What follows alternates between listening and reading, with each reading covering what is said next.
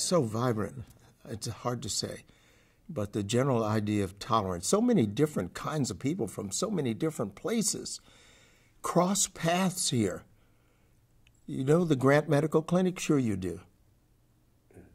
Jack Grant married a lovely woman from England named Margaret. Margaret came here to study at Wash U, and I met her at the drugstore. It so happens that when she was gone home back to Britain and was coming back, I introduced Margaret to Jack Grant, who was one of the medical doctors locally. So I knew her before he knew his wife. I mean, it's just that. How about Joe Roddy? Do you have much to do with him? Joe? Yeah, what was he like? Uh, Joe The is. old Joe. Oh, very good. Old Joe. I'm in a famous photo with old Joe Roddy, uh, my wife and I, for uh, his 80th birthday, I think it was, something like that.